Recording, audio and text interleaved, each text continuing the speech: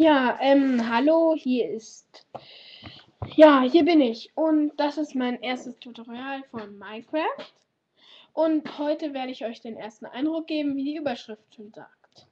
Also, Minecraft, für die Leute, die jetzt noch nicht wissen, es ist ein Klötzchenspiel. Alles ist dreieckig. Ähm, die Grafik ist nicht gerade die beste, aber man muss beachten, es hat nur ein Mensch, also ein schwedischer Mensch, programmiert.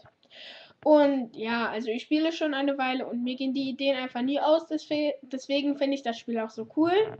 Und wie der Name schon sagt, Minecraft, es, halt, es handelt viel von Minenbau.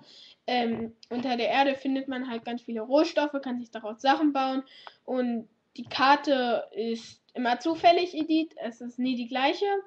Und die ist unendlich groß. Man kann alles machen, was man will, nachts sollte man sich einen Unterschlupf suchen, weil Zombies kommen, Skelette und Spinnen und so weiter und so fort. Kann man sich alles im Internet anschauen. Werde ich auch nochmal ein extra Video zu machen.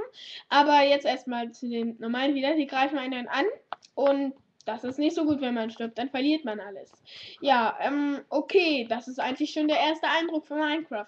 Bald wird das nächste Video rauskommen. Ähm, das wird dann ein Video sein, wo ich ein Let's Play mache. Wo es dann losgeht, ne?